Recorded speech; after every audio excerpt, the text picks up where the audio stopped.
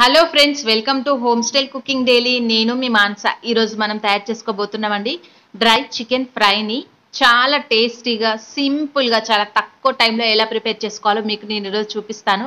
చాలా టేస్టీగా ఉంటుందండి. సో దీన్ని రెడీ చేసుకోవడానికన్నా ముందు నా ఛానల్ కనుక మీరు కొత్తగా వాచ్ చేస్తున్నట్లయితే తప్పకుండా సబ్స్క్రైబ్ చేసేసుకోండి. అలాగే నా వీడియోని ఎండ్ వరకు తప్పకుండా వాచ్ చేయండి. మనం ఇంకా ప్రాసెస్ స్టార్ట్ చేసేసుకుందాము. ముందుగా ఇక్కడ నేను ఒక హాఫ్ కేజీ చికెన్ని తీసేసుకొని చక్కగా వాష్ చేసుకొని ఉంచుకున్నానండి. ఇప్పుడు దీంట్లో మనము ఒక టీ స్పూన్ ఉప్పును యాడ్ చేసేసుకుందాము. అలాగే ఒక టీ స్పూన్ కారం వేసేసుకుందాము. అలాగే ఒక టీ స్పూన్ పసుపును కూడా యాడ్ చేసేసుకోండి. అలాగే ఒక టీ స్పూన్ అల్లం వెల్లుల్లి పేస్ట్ను కూడా యాడ్ చేసేసుకొని చక్కగా మీరు ఒకసారి అంతా కలిపేసేసుకోవాలండి. సో మనకు ఇవన్నీ చికెన్ ముక్కలకు పట్టేసేసుకోవాలి. సో ఇలా కలుపుకున్న తర్వాత ఇప్పుడు దీన్ని మనము స్టవ్ మీద పెట్టేసేసుకొని ఫ్లేమ్ అనేది మీడియంలో పెట్టేసేసుకుందామండి. సో మనము దీంట్లో ఉన్న వాటర్ అంతా బయటకు వచ్చేసి చక్కగా ఇది డ్రై అయ్యే వరకు కుక్ చేసేసుకోవాలి.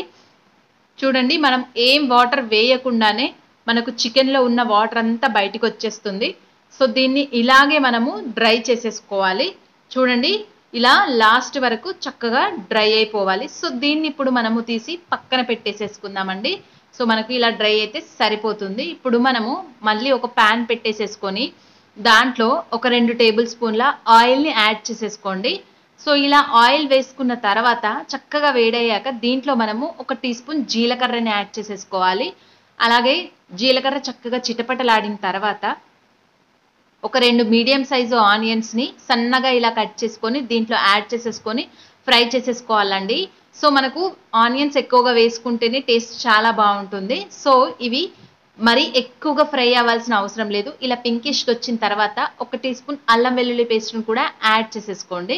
సో ఇది ఇలా యాడ్ చేసేసుకొని చక్కగా ఫ్రై అయిన తర్వాత ఇప్పుడు దీంట్లో మనము ఉడికించుకున్నాం కదా చికెన్ని. సో దాన్ని యాడ్ చేసేసుకొని ఫ్రై చేసేసుకోండి. సో మనకు ఇది ఆల్రెడీ ఉడికించేసేసుకున్నాం కాబట్టి బాగా ఫ్రై చేయాల్సిన అవసరం ఏం లేదండి. మనకు బాగా కుక్ కావాల్సిన అవసరం లేదు. జస్ట్ మసాలాలన్నీ పట్టేసేసుకుంటే సరిపోతుంది. సో మనకు ఇలా ఫ్రై చేసుకున్న తర్వాత ఇప్పుడు దీంట్లో ఒక ఐదు పచ్చిమిర్చీలను కట్ చేసి యాడ్ చేసేసుకోండి. అలాగే ఒక రెండు రెమ్మల కరివేపాకును కూడా యాడ్ చేసేసుకోండి. సో ఇవి ఫ్రై చేయకుండా ఇలా వేసేసుకుంటేనే వీటిలో ఉన్న అరోమా అనేది చక్కగా వస్తుంది. At the same time taste కూడా చాలా బాగుంటుంది. ఇప్పుడు దీంట్లో మనము ఒక టీ స్పూన్ కారంని కూడా యాడ్ చేసేసుకోండి. అలాగే ఒక టీ స్పూన్ ధనియా పౌడర్ని వేసుకోండి. కారం మీరు చూసి వేసుకోండి. ఎందుకంటే మనం ఉడికించేటప్పుడు వేసుకున్నాం ఇప్పుడు కూడా వేసుకుంటున్నాం కాబట్టి చూసి వేసేసుకోండి. సో దీన్ని కాసేపు ఫ్రై చేసేసుకోవాలండి. సో ఇది చక్కగా మనకు ఇలా ఫ్రై అయిన తర్వాత ఇప్పుడు దీంట్లో మనము ఒక టీ స్పూన్ కస్తూరి మేతిని యాడ్ చేసేసుకోండి. అలాగే ఒక రెండు టేబుల్ స్పూన్ల పెరుగును కూడా వేసేసుకోండి. మనకు పెరుగు వేసుకోవడం వల్ల టేస్ట్ అనేది ఇంకా ఎన్హాన్స్ అవుతుంది. సో అందుకోసము సో దీన్ని వేసేసుకొని ఒక్కసారి చక్కగా ఫ్రై చేసేసుకోవాలండి.